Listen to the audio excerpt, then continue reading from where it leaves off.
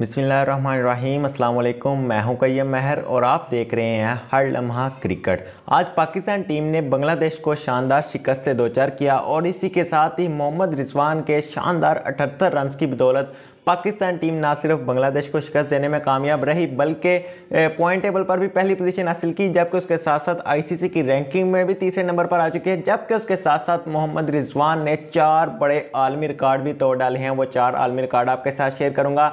लेकिन उससे पहले आसिफ अली के हवाले से आसिफ अली ने एक माइलस्टोन तय किया है, वो आपके साथ शेयर करता चलूँ। ले, वैसे तो Asif Ali out of form है, कोई भी मैच में अच्छी परफॉर्मेंस नहीं दिखा रहे। जब से टी ट्वेंटी वर्ल्ड कप 2021 का अख्ताम हुआ है, उसके बाद आसिफ अली की फॉर्म उनसे रूट चुकी है। चाहे वो एशिया कप का फॉर्मेट हो, चाहे जिस भी फॉर्मेट में हो, आसिफ अली की फॉर्म उनसे रूट चुकी है। लेकिन आज उन्होंने, आज के मैच में बांग्लादेश के खिलाफ जब वो मैदान उन्होंने संभाला तो उन्होंने एक माइलस्टोन मुकम्मल किया। वो माइलस्टोन ये है कि उन्होंने अपने टी इंटरनेशनल मैचेस की 50 मुकम्मल कर लिया है अगर आपको मैं बताता चलूँ, सबसे ज़्यादा T twenty international matches Pakistan की तरफ़ से खेलने का आज़ाद शुएब मलिक को है एक मैचेज उन्होंने खेले हैं, जबकि मोहम्मद हफीज़ ने एक उसके बाद शाहिद अफरीदी अट्ठानवे, बाबर आज़म अट्ठासी, इसके बाद चौरासी, इसी तरह ही सारे चलते जाएँगे, जबकि आसिफ अली ने पचास इंटरनेशनल मैचेस टी पाकिस्तान की तरफ़ से खेले हैं सनल लीव ने भी पचास खेले हैं, जबकि मोहम्मद आमिर ने भी पचास टी इंटरनेशनल मैचेस पाकिस्तान की जानब से खेले हैं। ये एक माइलस्टोन आसिफ अली ने जो कि मुकम्मल कर लिया है। इससे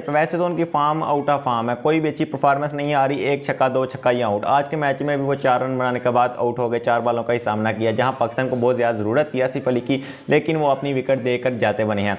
जबकि अब बात करते हैं मोहम्मद रिजवान ने जो चार बड़े आलमी रिकॉर्ड तोड़ डाले हैं, वो रिकॉर्ड पर नज़र डालते हैं। पहला जो रिकॉर्ड है, मोस्ट टाइम मोहम्मद रिजवान का नॉट आउट रहने का एज अ ओपनर सबसे ज़्यादा इन्होंने रिकॉर्ड बना डाला है। यानी कि सबसे ज़्यादा बार not out T twenty international matches में as a opener not out जाना मोहम्मद रिजवान ने ही ग्यारह दफ़ा ये कारनामा सर अंजाम दिया जबकि डेविड वार्नर ने भी ग्यारह दफ़ा कारनामा सर अंजाम दिया लेकिन डेविड वार्नर ने छियासी मैचेज टी के खेले हैं, जबकि मोहम्मद रिजवान ने अभी सिर्फ़ अट्ठावन टी इंटरनेशनल मैचेज खेले हैं। जबकि तीसरे नंबर पर दिलशान है, उन्होंने नौ नौ दफ़ा नॉट आउट गए हैं। जबकि बटलर जो हैं, वो आठ दफ़ा टी ट्वेंटी इंटरनेशनल मैच में as a opener not out वापस पवेलियन गए हैं।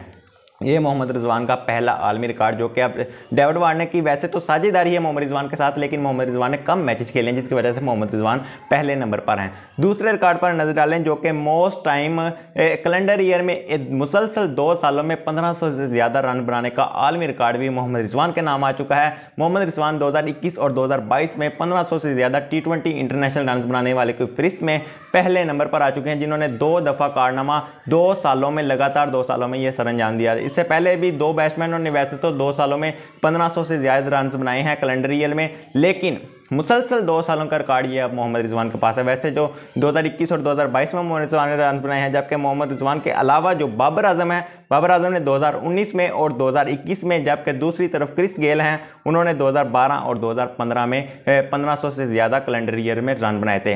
ये रिकॉर्ड भी अब मोहम्मद रिजवान के पास आ चुका है, जो कि मुसलसल दो सालों में कैलेंडर ईयर में पंद्रह से ज़्यादा रन बनाने वाले की बैट्समैन की फ्रिस में पहले नंबर पर आ चुके हैं, मुसलसल रन बनाने वाले।